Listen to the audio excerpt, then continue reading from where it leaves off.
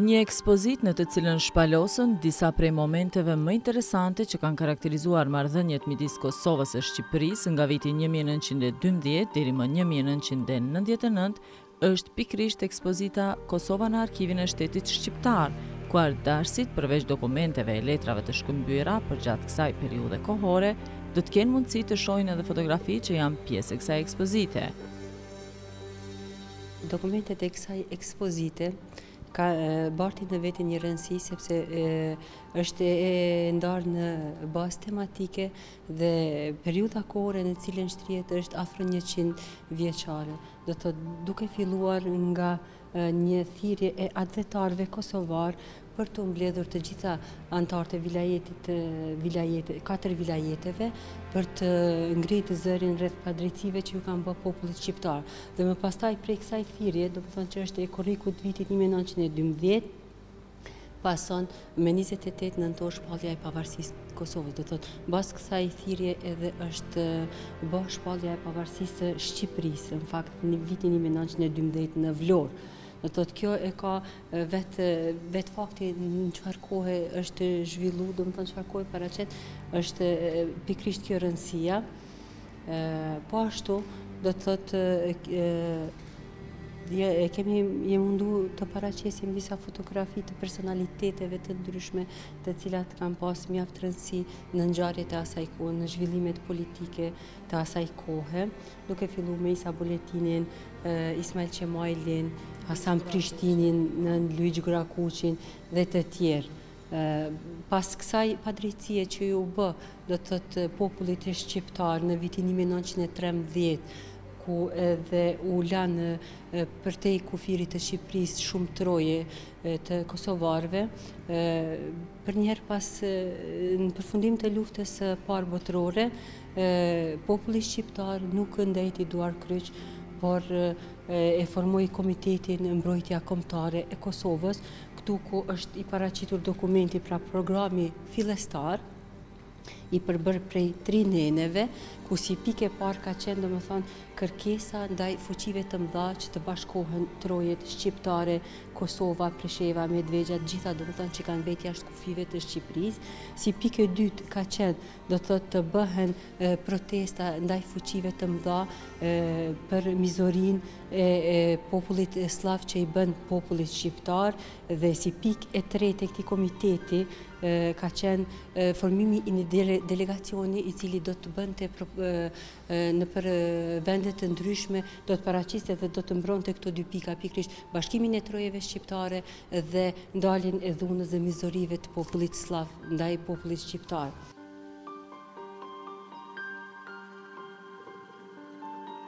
Në këtë ekspozitë janë prezantuar dokumente origjinale që nga periudha e vitit një mijë e nëntëqind e dymbëdhjetë, dokumente me pjesëmarrës nga Kuvendi i Vlorë, prekshme, por në të njëjtën kohë të ndikojë për të tërhequr vëmendjen për pasuritë e të shkuarës, që ky institucion brenda vetes e ruan në formë të dokumentuar.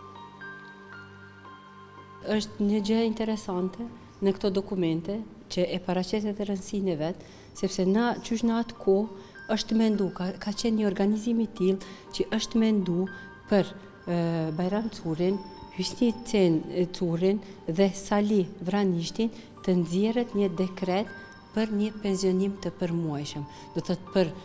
veprimtarinë e tyre, do të thotë T'i shpërblejnë në këtë formë. Këtu janë edhe disa fotografi të cilat e paraqesin Bajram Currin në me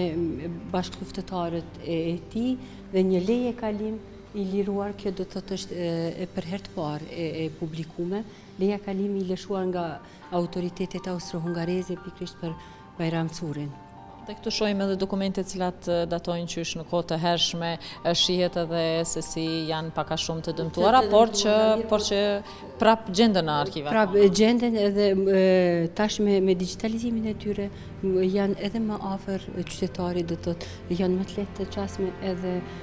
nuk munden me, me humbë. Do të thotë është një, një kujdes edhe më i, i veçantë ndaj tyre.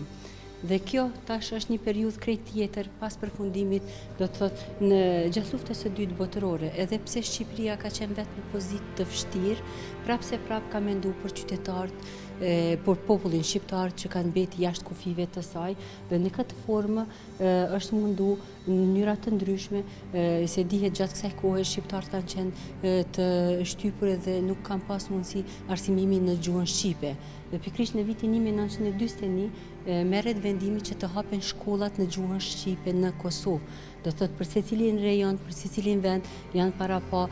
ku të hapet shkolla dhe kryesisht në fillim janë sjell mësues nga Shqipëria. Kjo ka qenë një hap shumë i rëndësishëm për përkrahjen ndaj popullit të Kosovës.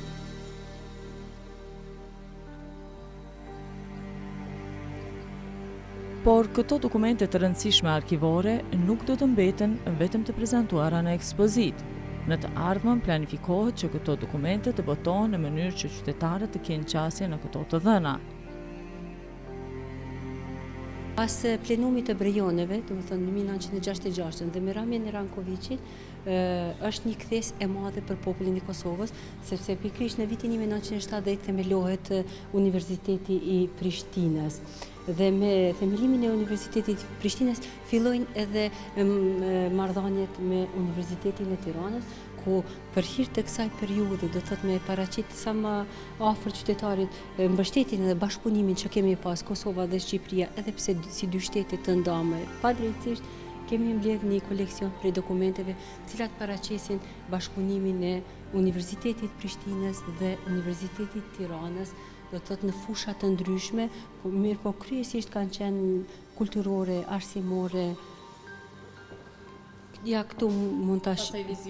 vizitat e ekspertëve, vizitat e pedagogëve, do të thotë janë angazhu pedagogë të Universitetit Tiranës për të ligjeru në Universitetin e Prishtinës, Po ashtu edhe sjellja e literaturës në gjuhën shqipe, sepse atje, atëherë në atë kohë kryesisht ka mbizotëru literatura në gjuhën serbo-kroate dhe për me e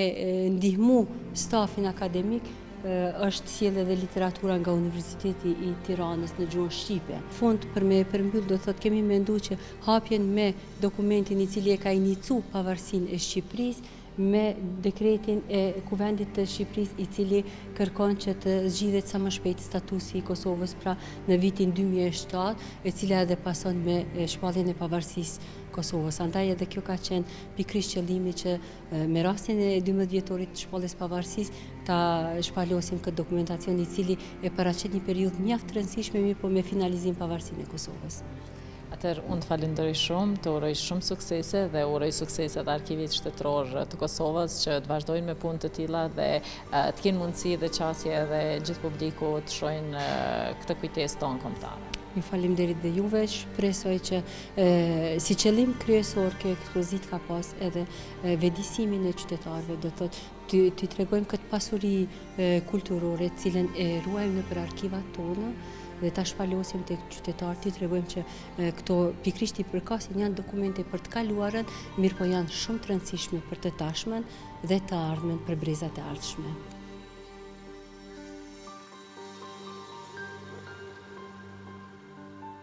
Ekspozita Kosova në Arkivin e Shtetit Shqiptar, e hapur në lapidariumin e Muzeut Kombëtar të Kosovës, është realizuar nga grupi punues i Agjencisë Shtetërore të Arkivave të Kosovës, të cilët kanë bërë përzgjedhjen e dokumenteve të prezantuara, me përkrahje nga Drejtoria e Përgjithshme e Arkivave të Shqipërisë dhe Muzeu Kombëtar i Kosovës.